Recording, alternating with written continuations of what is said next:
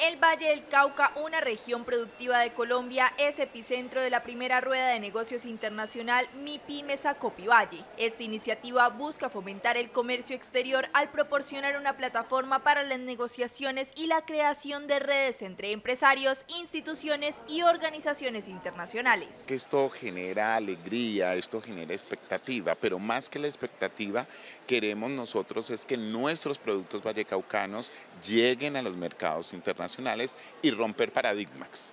Sí se puede.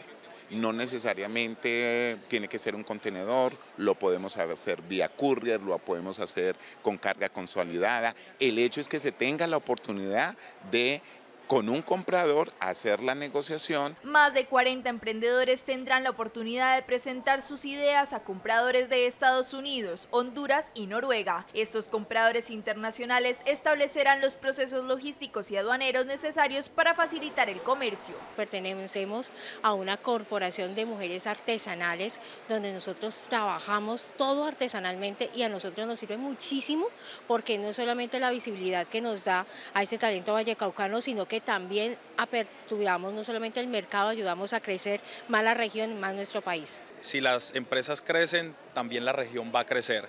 Somos una de las regiones más competitivas del país y necesitamos seguirlo fortaleciendo con espacios como estos. Estamos muy contentos de poder participar y mostrar pues, las creaciones que hacemos aquí en el Valle del Cauca a partir de la piedra volcánica.